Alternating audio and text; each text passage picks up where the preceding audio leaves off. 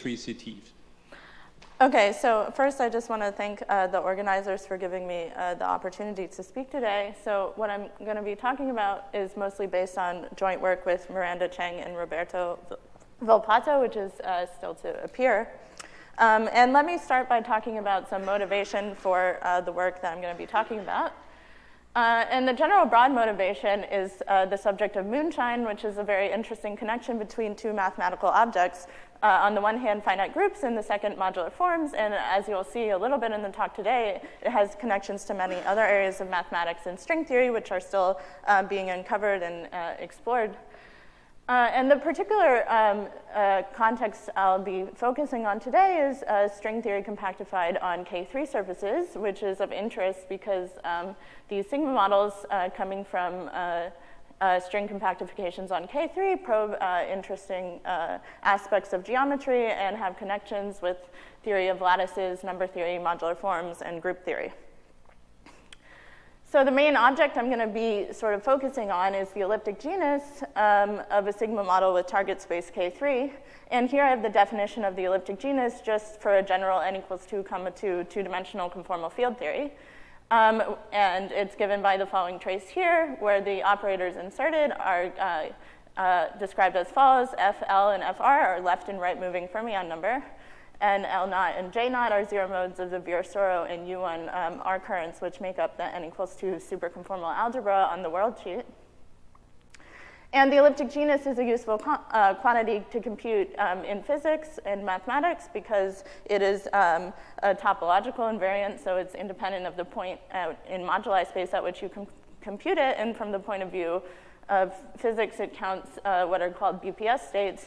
So uh, in the two-dimensional conformal field theory, these are states where the right movers are in the ground state. There's just a Witten index for the right moving modes. Um, and therefore, the elliptic genus is a holomorphic function in tau. And then there's a spectrum of left moving states, which are graded by uh, U1 charge and energy level.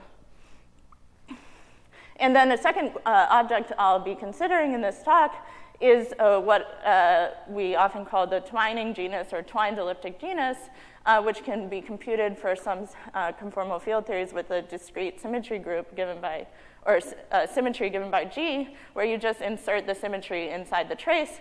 And now this uh, twining genus should have good modularity properties under some subgroup of SL2Z, um, which preserves these G-twisted boundary conditions. Um, and so the main uh, observation which motivates uh, what I'm going to talk about today is the observation of Eguchi, Ooguri, and Tachikawa, three physicists, um, with, uh, who in 2010 um, uh, sort of started this subject, which is now called Mathieu moonshine. So um, they were looking at the expansion of an elliptic genus of a K3 surface into characters of a, uh, n equals 4 superconformal algebra, which is the amount of uh, supersymmetry that exists on the world sheet of, of a K3 sigma model. And what they found is roughly the following. There's a contribution from 24 uh, massless multiplets, and then some infinite tower of massive multiplets, which is encapsulated in the function here, q to the minus 1 eighth times these uh, numbers in the parentheses.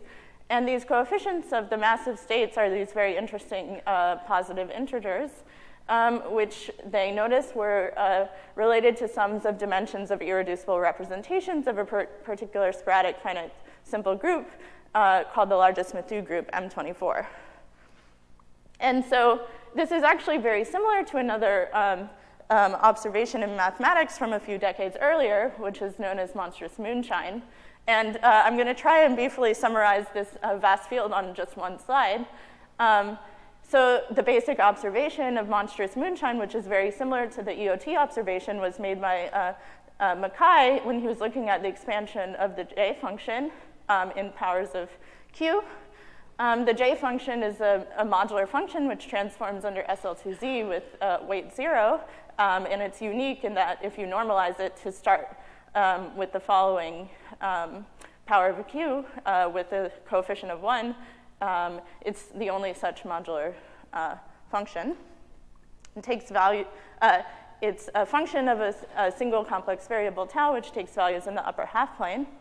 And what McKay noticed was this first coefficient, this 196884, is uh, equal to the sum of the two smallest uh, the dimensions of the two smallest representations of a different uh, sporadic uh, finite simple group called the monster group. It's the largest of these 26 uh, sporadic finite simple groups depicted here. Um, and this connection was very mysterious um, and, and until um, it was sort of eventually explained um, by a construction of a particular chiral conformal field theory by Frenkel, Lepowsky, and Meurman. Uh, a bosonic chiral conformal field theory of central charge 24 compactified on a, a 24 dimensional torus given by R24 modded by uh, the Leech lattice. So the Leech lattice is a particular 24 dimensional even unimodular lattice with no vectors of length squared 2 and if you take this conformal field theory and orbifold by a Z2 symmetry, which basically is a reflection about the origin, what you find is that it has partition function given exactly by J, and it has a symmetry group, um, which is the monster group, which, so all of the states fall in uh, monster representations.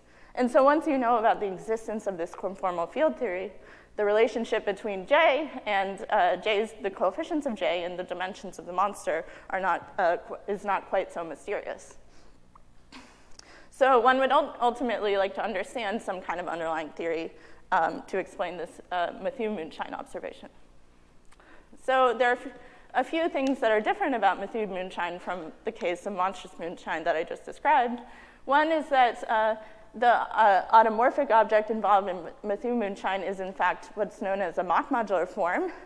Um, Mock modular forms were originally introduced by Ramanujan um, almost 100 years ago, but their mathematical properties were only explained by Zwegers about 15 years ago or so. Um, and I'll just, I have the definition here, but I'll briefly explain in words what it is. So a function, a holomorphic function, which I call h of tau, is a mock modular form. Um, if it's a function which transforms almost modularly under SL2Z, um, and if, it, uh, if there's an additional function called the its shadow, which I denote as f of tau, where when you add this particular integral of the shadow, uh, which is in fact some non-holomorphic piece, then the overall function on the left-hand side, called the completion of h, is modular but no longer holomorphic. So mock modularity sort of indicates a trade-off between having something which is holomorphic and not quite modular, or adding this piece, um, which is an integral of the shadow, and getting something which is no longer holomorphic, but then now is modular. And mock modular forms have um, begun to be, or their um, Im impact in physics and mathematics has begun to be developed as well. And here I just mention a few uh, places where they occur naturally. So they often appear um, algebraically when considering characters of infinite dimensional Lie superalgebras.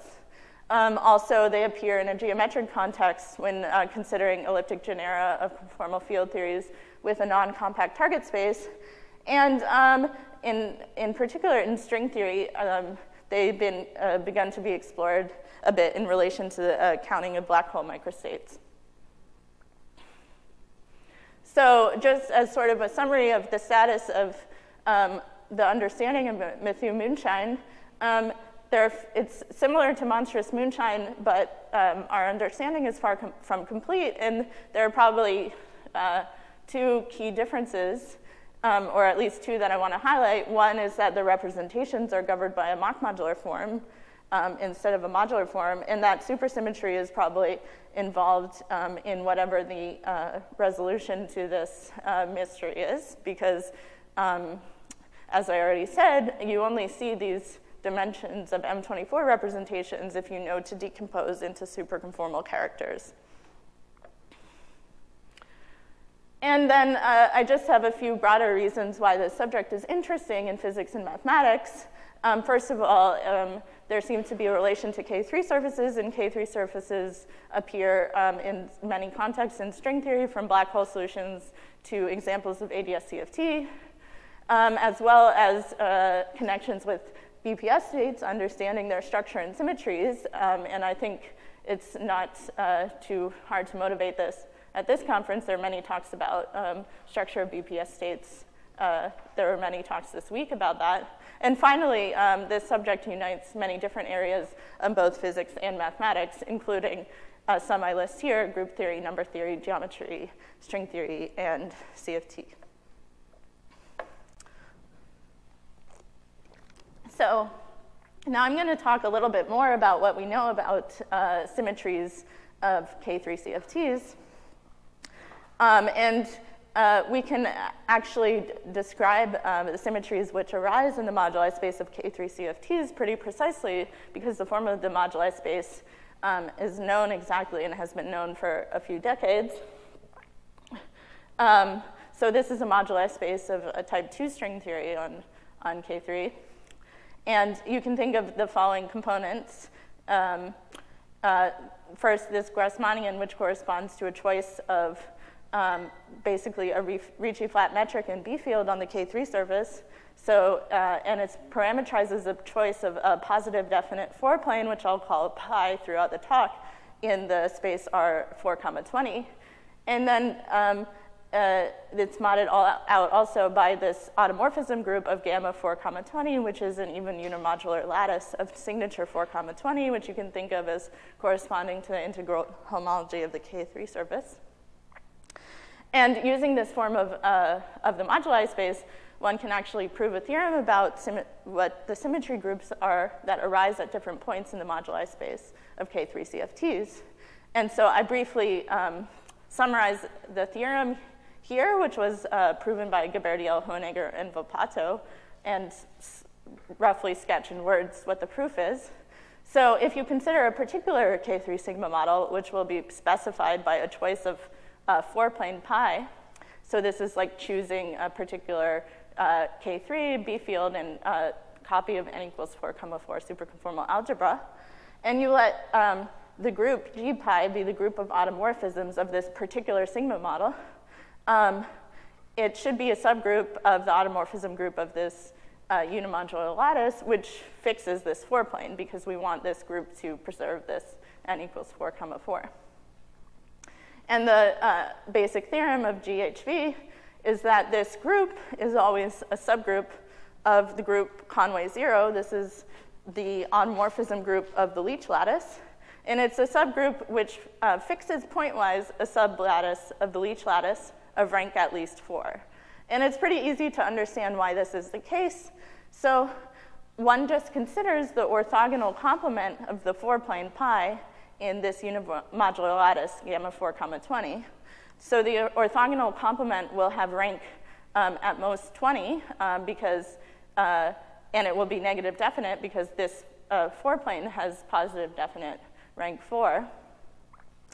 And so the orthogonal complement, if it has no vectors of length squared 2, which means that the CFT is not singular, uh, can be embedded in the Leech lattice. And then um, the, the group, uh, G pi, will just be a subgroup of the automorphism group of the Leech lattice that fixes the orthogonal complement of the orthogonal complement of pi, or just fixes a sublattice of rank at least 4. So what does this theorem mean for the observation of Eguchi, Ooguri, and Tachikawa about the M24? Well, so the theorem summarized one more time is just that the symmetries of non-singular K3 sigma models have been classified and lie within this particular uh, sporadic group, Conway 0, the automorphism group of the Leech lattice. Um, and they are uh, always subgroups that preserve a four-dimensional subspace in its 24-dimensional representation. And so there are two um, somewhat, um, I guess, kind of puzzles or inconsistencies with the appearance of the M24 coming from this theorem. The first um, is perhaps not so mysterious. Um, so in particular, within this group, Conway zero, are, there are extra symmetries which do um, preserve a four-dimensional subspace, but lie outside of M24. However, these symmetries only occur at particular isolated points in moduli space where the K3 uh, CFT is at an orbifold, torus orbifold limit. However, um, more um, um uh, confusingly, uh, there are symmetries within M24 that are not allowed by uh, this GHV classification. There are elements which only preserve a two-dimensional subspace in the, in the 24-dimensional representation. And these particular symmetries will never occur at a particular point in K3 moduli space. Okay, so though I'm not going to answer the question about um, the origin of M24, I am going to talk about a couple extensions to this, to this result, um, two different ones. One where you take singular points into account in the K3 moduli space, and one where you consider world sheet parity. So consider the um, orientation of the left versus right movers along the world sheet, and, um, and ask the questions, or ask how the following questions are affected by taking these two things into account. Um, first of all, what groups can arise, and second of all, what kind of twining functions can arise. So um, perhaps more um, worrisome or you might ask, why consider uh, singular points in K3 moduli space if the CFT may not, uh, is not perturbatively well defined?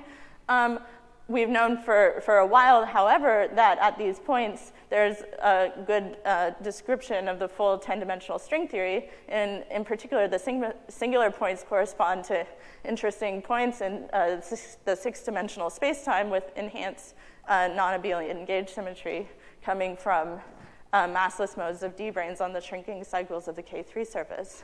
So they do make sense within uh, the full 10D string theory. And a second reason to the, consider the singular points is to make a connection with the larger structure, which is known as umbral moonshine, which I'll describe briefly. So umbral moonshine um, is, was introduced by the following three mathematicians or physicists, Miranda Cheng, John Duncan, and Jeff Harvey. And what they showed is that Mathieu moonshine is, in fact, the first example of a larger phenomenon known as umbral moonshine, which relates discrete groups um, to mock modular forms. And the relation is the following. So there, each instance of umbral moonshine is lab labeled by a particular lattice, um, known as a Niemeier lattice. And the Niemeier lattices are even unimodular lattices of rank 24 um, which were, uh, have, get their name because they were classified by Niemeier, who showed that there are 24 such lattices. There's the Leech lattice, which has no roots or no vectors of length squared 2. And then there's 23 others who's, uh, who are uniquely determined by their root systems, um, in that they're all unions of simply laced ADE type root systems. And so on this slide, I just want to briefly point out one thing. So uh, along the top line are just the root systems of the tw 23 different Niemeier lattices. And the first line is the automorphism group of the Niemeier lattice. What you notice is that this first Niemeier lattice with 24 copies of A1 as its root system has automorphism group M24. In fact, this is not a coincidence. This is related to the, the Mathieu moonshine observation. Um, it's it's the group, uh, it's the automorphism group of the lattice when you don't take into account non-trivial automorphisms of the root lattice. So like the, so in the case of A, A2 to the 12th, you get also an automorphism acting on the, the A2 root lattice, which exchanges the two simple roots. Um, and so if you, if you don't include that, you just get the bottom line. But the groups which are relevant for umbral moonshine are in fact the top ones, including that. Um, so, for, uh, so the brief description of the relationships of umbral moonshine is that you can define a group from each lattice, uh, which is given by the automorphism group of the lattice, modded out by the Weyl group, which acts as reflections on the root system. And you can also define a mock modular form, in fact, a, a modular form for each conjugacy class in this group, um, whose modularity properties are specified by the data of the root system in a, in a precise way, which I don't have to, time to describe, but the data of the root system tells you about the shadow of the mock modular form, and whose coefficients are given by characters of the group. So one question you might have is if these other instances of moonshine are related to K3CFT in a similar way to the first case, uh, which was discovered um, by looking at the elliptic genus of K3CFT. So I'll briefly describe a, a motivation for this um, from work I did with Miranda Cheng a few years ago, which is that you can revisit the decomposition of the elliptic genus of K3 um, into uh, BPS and non-BPS n equals 4 multiplets. But uh, due to an identity between the short BPS representation and the elliptic genus of an A1 type singularity, you can also view this uh, decomposition uh, in a geometric way where there's a contribution coming from a singularity configuration based on the root system of the lattice and a contribution coming from the Umbro-Moonshine mock modular form, which has characters of the automorphism group. And in fact, you can do this for all 23 cases of umbral moonshine. Um, and uh, there in roughly there, uh, there are 23 ways to separate the elliptic genus into parts. Um, one coming from the root system of the Niemeier lattice, which corresponds to the uh, elliptic genus of the corresponding configuration of singularities, and one uh, coming from the Umbro-Moonshine mock modular form, which has uh, characters of the corresponding group. So as an example, I just do the next, uh, the next case of umbral moonshine, where the uh, root lattice is 12 copies of A2, so you can also write the elliptic genus of uh, K3 in terms of a contribution from 12 A2 type singularities and a contribution from this mock modular form of umbral moonshine, um, which has uh, coefficients which are representations of this group 2.m12, which is the automorphism group of this Niemeier lattice. And so why would uh, this be interesting? Well, you can also define twining genera for each conjugacy class in all of the uh, different umbral groups associated to each Niemeier lattice. And as a consistency check, if you uh, call um, pi g just the eigenvalues of g in its 24-dimensional representation, this is often called a frame shape, then if g is a symplectic automorphism with a particular frame shape, um, one's guaranteed to get the same twining function no matter which group it comes from. But however, if g is some non-geometric symmetry, this uh, twining function can differ depending on which umbral group it's in.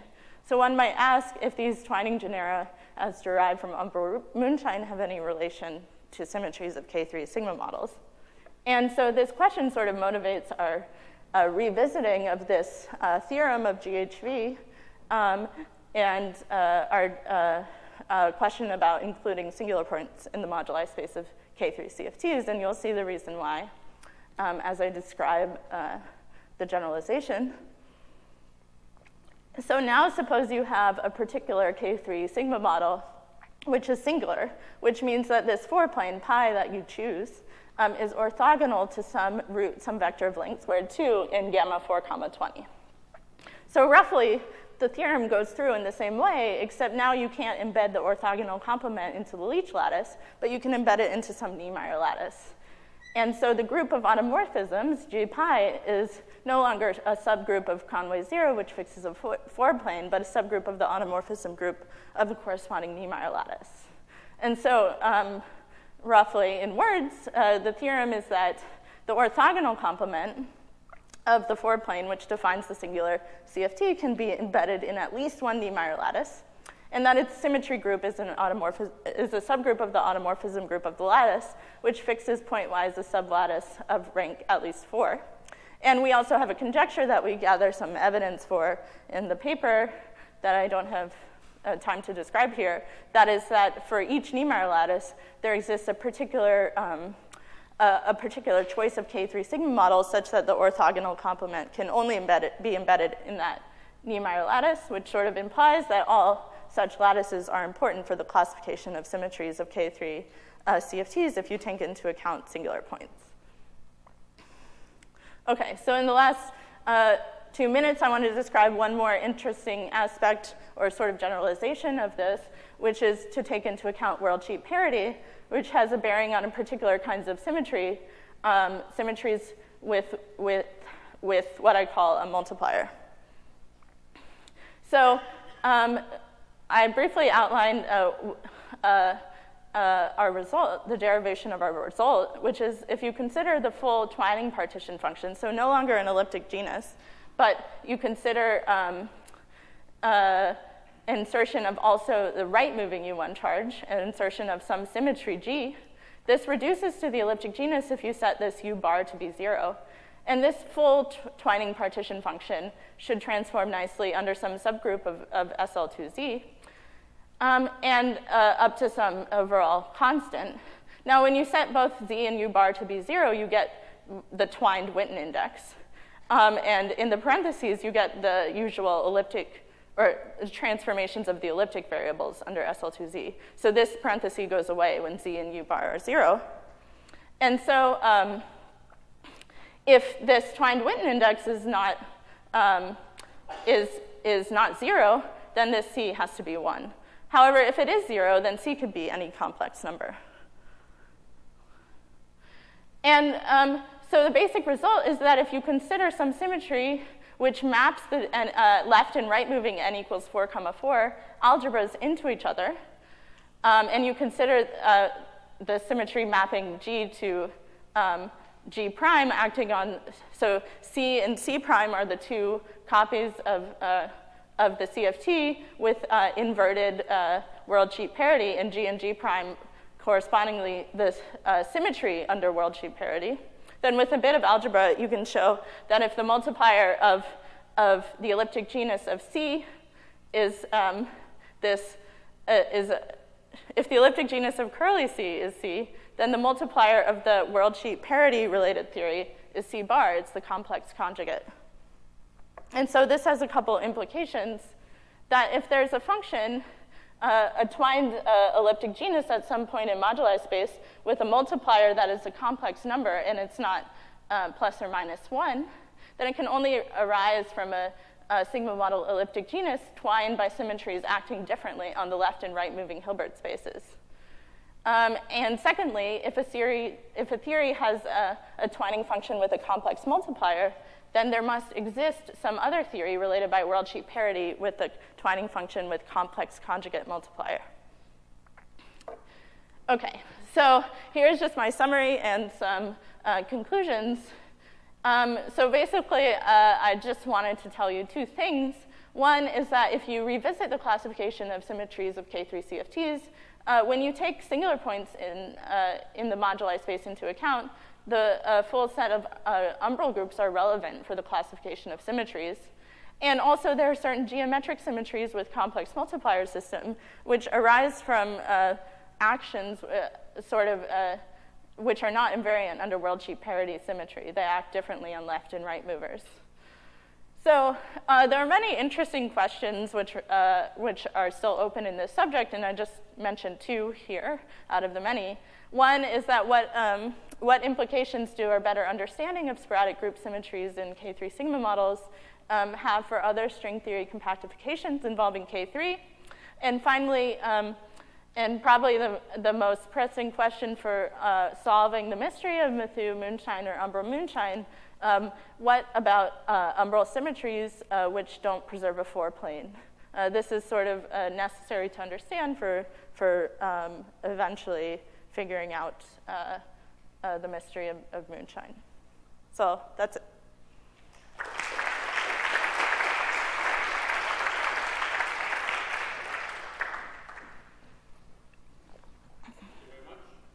Questions?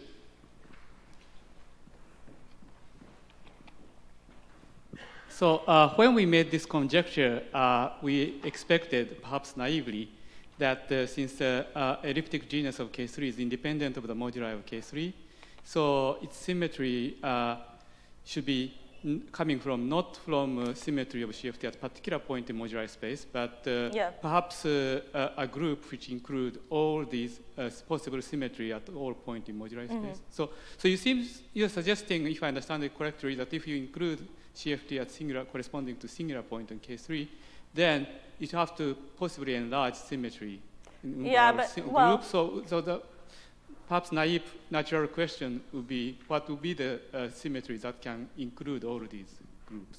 I think you would still have to move between different points in moduli space because you still have this four-plane um, restriction. In fact, all of these groups can fit into the Conway group. So, um, um, but but it's, it's, sort of evidence for a more direct relation between um, all of the different cases of umbral moonshine and K3CFT. But I think the question about how to combine different points in moduli space is still a very interesting one that people haven't been able to make much progress on precisely. Could you go back to equation 0.1? It didn't look like an index to me. It's the one where you had the U, you had the Z and the U oh. bar. Yeah, it's not an index. It's not an index. No, no, no, it's only Okay. to So where are you, where are you calculating that if it's not At an a index? particular point, just for a Is this an orbifold K3 or something like that? I mean, how do you calculate it? Oh, you, you don't calculate it in general, but I mean, you don't. I mean, you could calculate it at a particular orbifold point, but the point is just ma- to make an argument about the form of of the multiplier um, at any particular for any particular choice of K3CF. Oh, I see. So you have, you have a, you have a claim about this or for any, even for, they're not exactly smooth K3s, right? Because is this, is this at a singular point in K3 moduli space? No, this this is a, a just. A, Oh, you're just looking at this for a general K3 yeah, just for a general K3. It's sort of an independent idea. Okay, so this is really hard to calculate away from. Yeah, it's generally hard to calculate, but you can still um, gain some understanding about what the symmetries are, which have a complex multiplier, just, Okay. just from analyzing the modularity properties of this thing. But yeah, unfortunately, unfortunately, since it's so hard to calculate at any point, we haven't been able to find an example of a symmetry with some asymmetric action which yields this complex Oh, really? Even by going to various orbifold points, you haven't found an example, or? Yeah, though we haven't tried for a very long time, but um, I see. So that's so that's what you're going to try and do, right? You're going to Yeah, it go to an orbifold point to try and get Yeah. an example of what you're saying could happen. Yeah, I mean, it should happen if it exists, and from just from the theorems of, I mean, there are conjectures that if you pick a- any sublattice of of of gamma 4 comma 20, you can define such a CFT, and you know that some of these symmetries exist as uh, actions on these sublattices. So we expect there to be such CFTs with these symmetries, but to access them is quite hard. Okay, and so I, I also had a, a sort of a comment, uh, which is, uh, how does G act on the Hilbert space? You see, I think uh, that equation is a little misleading, right? Because part of the whole mystery is that we don't know how G acts except for certain subgroups of Mathieu or, or umbral moonshine. Yeah, so this is just for any I mean, that's sort of the whole point, right? We don't know how G acts on the Hilbert space. Yeah, You know, when, when Matthias and his, uh, and his colleagues, you know, proved these theorems about twining genera, they had to use properties of modular forms. They didn't actually calculate the trace of G Oh, on yeah. the Hilbert space. That's sort of, that's but I, I mean, I don't think I'm claiming to know how it acts. It's no, ju- I know, I know yeah, that. yeah. I'm just stressing that.